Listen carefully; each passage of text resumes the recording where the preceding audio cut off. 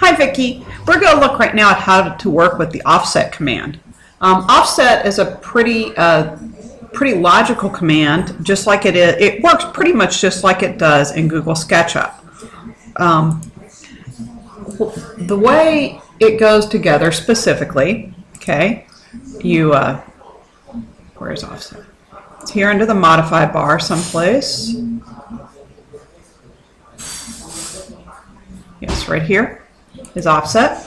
Okay, now down here on the command bar, if we look here, it says specify offset distance or through erase layer. Okay, so um, it gives you these options. Down here, the command line tells you what the program needs you to do to, to work with the command. Okay, through means it accepts the last uh, dimension that you used. Now I'll show you that one in a minute. But right now I'm going to specify an offset distance. Um, if I look at the plans, I know that um, there is a wall that is 15 feet from this wall right here. So I'm going to enter, whoops, I'm going to start my offset command again, and I'm going to enter 15 feet.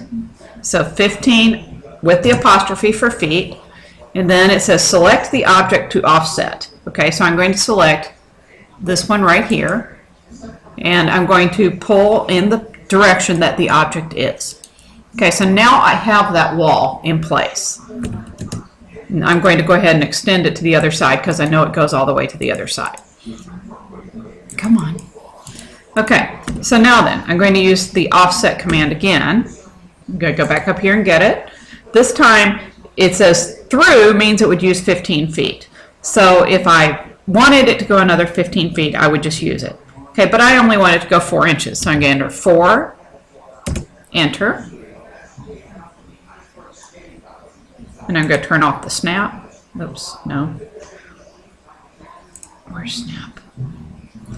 Okay, so there we go. Now I've got the thickness of that wall is 4 inches, and that works perfectly. Okay, so that gives me that wall right there, and I'm going to come in here and trim this. Okay, now then. Um, let's see here. So now here in the middle of the room, I've got the desk.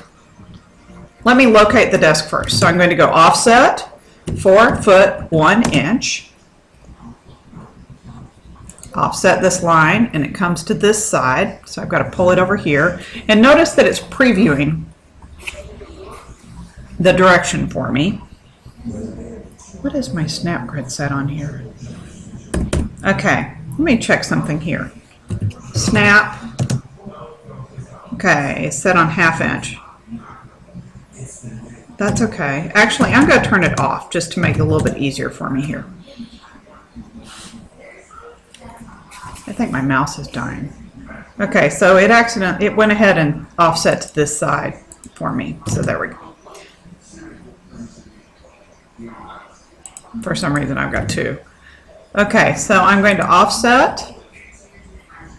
I want to go four foot one. So since I want the dimension it's got here, I'm just going to hit enter. I'm going to grab hold of this line right here, and I'm going to come to this side, and then I'm going to hit enter. Okay, now I'm going to hit enter to call up the offset command again, and I'm going to enter six foot six because that's the next distance I want. And I'm going to grab my line, offset to this side, hit enter. Then I'm going to do it again. This time I want four foot five. Okay, so I can kind of continue doing this on and on and on just by hitting enter in between the commands. Okay, the next dimension is five foot five. And so you see it gets, it's really easy to lay out the dimensions here. Okay, so now let's look at some of the other pieces of the offset command. If you choose E, it says erase source object after offsetting. So you can say yes or no, and it will do it if you want it to. So that would be if you've got something in the wrong spot.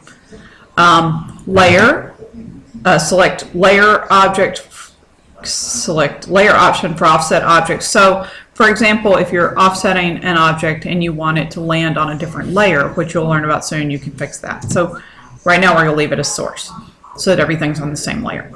I think that's everything you need to know about the offset command. Let me know if you need more help. Thanks. Whoops. My button's covered up here. Where's my button?